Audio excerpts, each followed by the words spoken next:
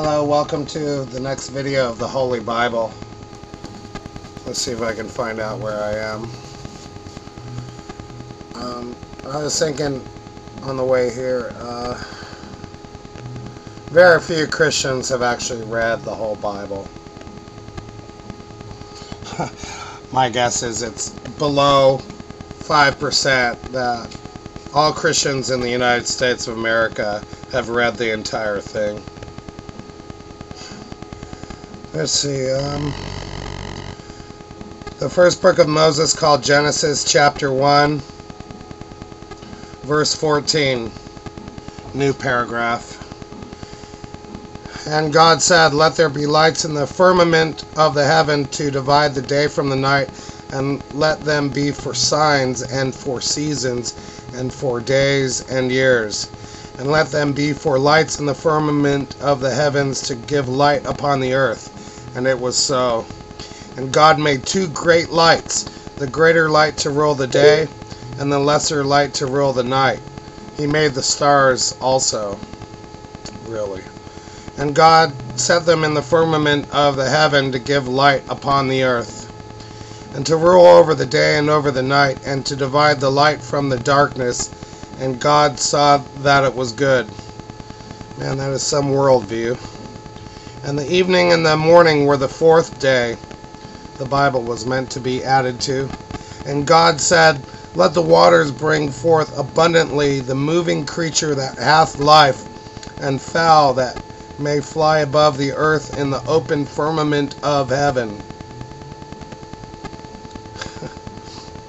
in science, uh, there's a moving creature that came from the sea from which all animal life on earth and whales came from. And God created great whales and every living creature that moveth, which the waters brought forth abundantly after their kind, and every winged fowl after his kind. And God saw that it was good. Really.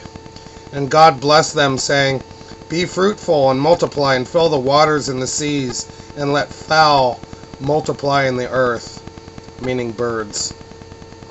And the evening and the morning were the fifth day.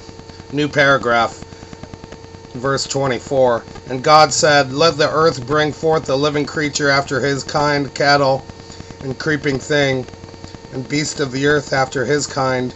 And it was so. Well, the cattle would be domesticated animals. And God made the beast of the earth after his kind, and cattle after their kind, and everything that creepeth upon the earth after his kind, meaning insects. And God saw that it was good. And God said, Let us make man in our image. In our image? That's a new one. After our likeness, and let them have dominion over the fish of the sea, and over the fowl of the earth, and over the cattle, and over all the earth, and over every creeping thing that creepeth upon the earth. Moses, Moses is some writer.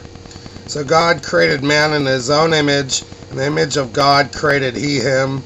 Male and female created he them. And God blessed them, and God said unto them, Be fruitful and multiply and replenish the earth, and subdue it, and have dominion over the fish of the sea, and over the fowl of the air, and dominion over the fish of the sea, and over the fowl of the air, and over every living thing that moveth upon the earth.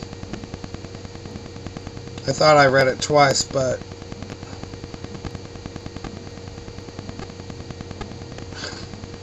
I don't know. And God said, Behold, I have given you every herb bearing seed which is upon the face of all the earth, and every tree in the which is the fruit of a tree yielding seed. To you it shall be for meat. People get hungry. They need Kentucky Fried Chicken. And to every beast of the earth, and to every fowl of the air, and to everything that creepeth upon the earth. Okay, we get it. Wherein there is life. I have given every green herb for meat, and it was so. Moses was probably smoking some cannabis. And God saw everything that he had made, and behold, it was very good. And the evening and the morning were the sixth day. Okay. So, Genesis chapter 1 takes you to the sixth day of creation. Great. Okay, that's the end of chapter 1. It's tedious reading, lots of repetition.